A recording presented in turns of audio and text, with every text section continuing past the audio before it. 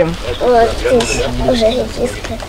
Уже редиска созревает у нас тут. А рядышком, смотри, видишь фиолетовые листочки? Это такой базилик.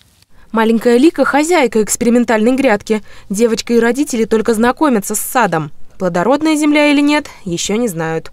Участок купили лишь в этом году. Со стороны бани э, выход с веранды. Здесь будет полностью зона отдыха.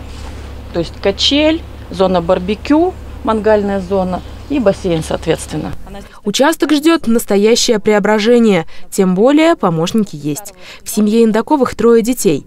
Лика младшая. Землю в СНТ удалось приобрести благодаря областному мат-капиталу, который направлен на поддержку многодетных семей. Квартира, где жить, есть. Э, Семья большая. Оставалось только место для отдыха, поэтому выбор пал именно на садовый участок.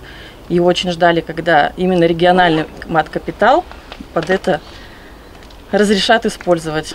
И вот дождались в августе месяце. Прям вот проконтролировала все, весь этот, когда вышел закон. И все, и сразу в этом направлении начала работать. Главное условие – участок должен располагаться в Челябинской области. А чтобы действительно помочь людям, в регионе решили расширить перечень, куда можно потратить мат-капитал. Помимо покупки сада, им можно погасить ипотеку, сделать реконструкцию жилого дома, провести воду и газ, оплатить образование ребенка. У нас есть крупные а, общественные организации, которые объединяют многодетных семей. Мы с ними в постоянном контакте, и а, мы а, видим от них предложения.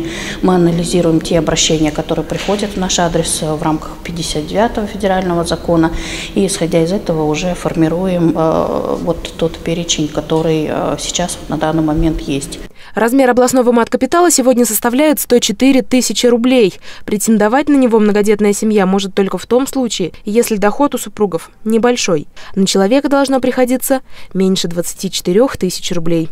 Елена Никитина, Сергей Олейник, 31 канал.